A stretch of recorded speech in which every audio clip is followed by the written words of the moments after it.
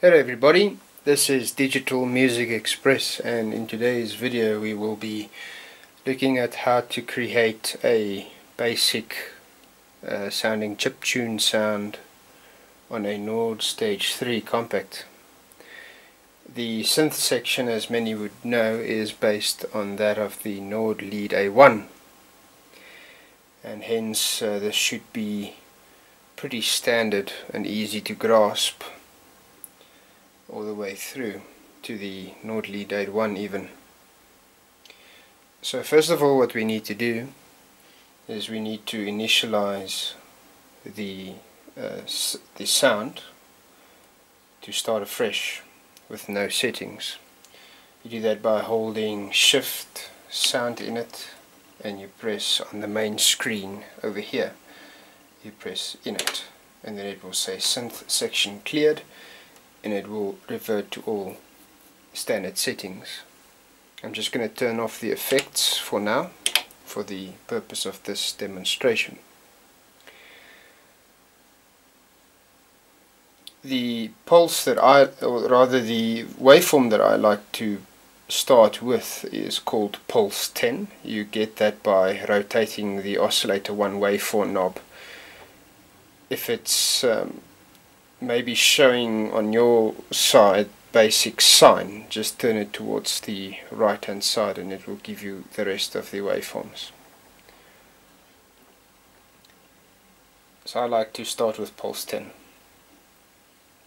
if you like the modulated the pulse width modulated um, sound then what you can do is you can hold shift and with the oscillator 2 pitch or config knob turn it to shape which is number 3 and then you will have an option to modulate the pulse with that pulse wave. It sounds like this currently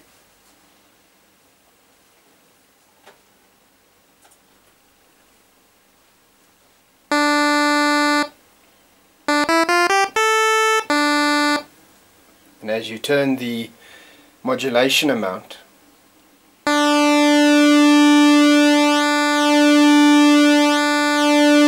You'll hear it modulating. You can assign that to the LFO section and use the modulation knob to adjust the LFO amount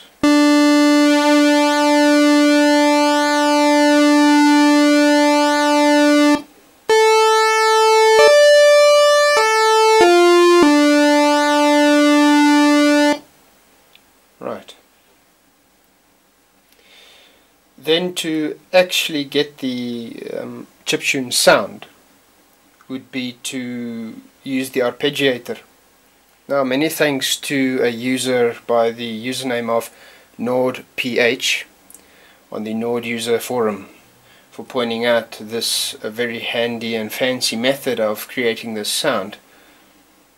I personally always used to use the LFO to modulate the oscillator pitch by 12 semitones or one octave.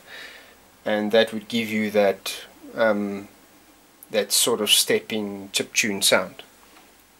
But this works just as well.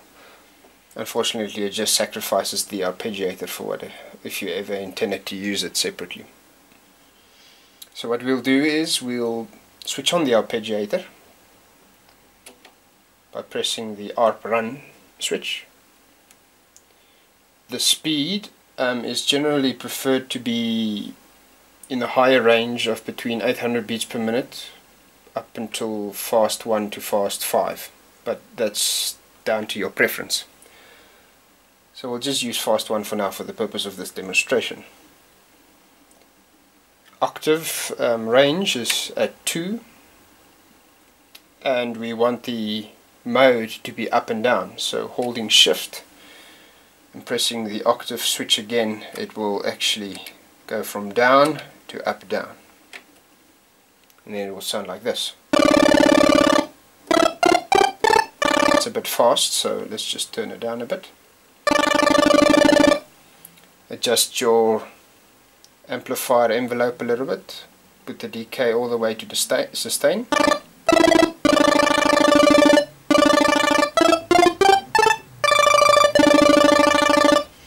also like to use legato uh, triggering.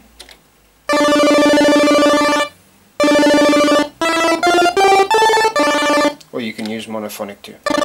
But if you use mono, it sort of creates a space between the steps of the arp as you can hear. Whereas if it's legato, it's more uh, closely connected. So use legato for that.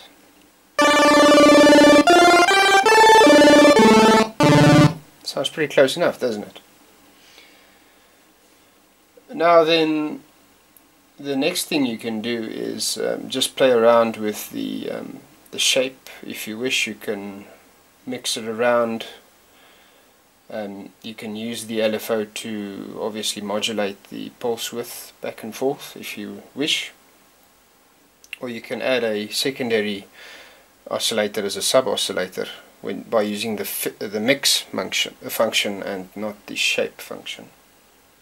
You can also use unison if you want to layer the sound, but I don't really prefer doing that. It sort of makes it too bulky.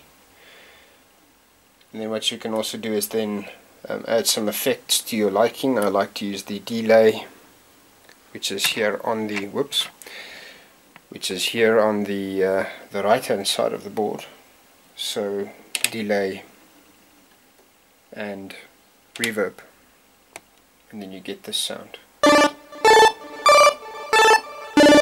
You hear the uh, stereo delay which is the ping pong function over there.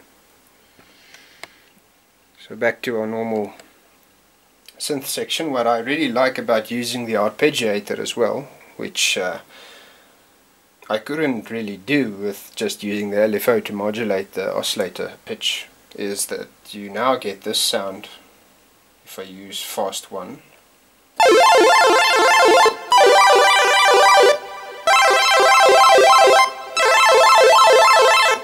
and of course if I say keyboard hold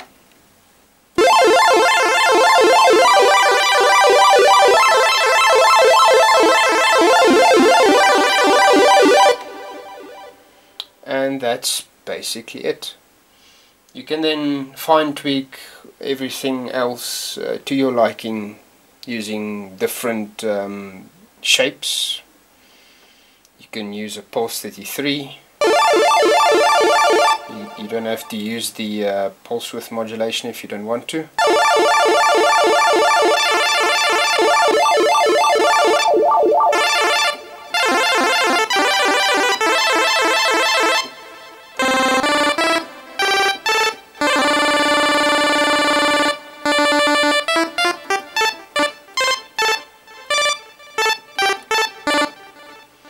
That's it. I hope uh, this helps somebody out.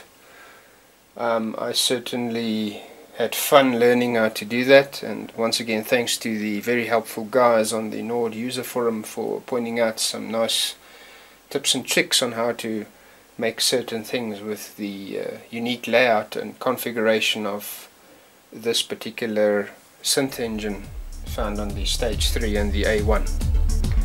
So till next time, thank you and uh, see you around.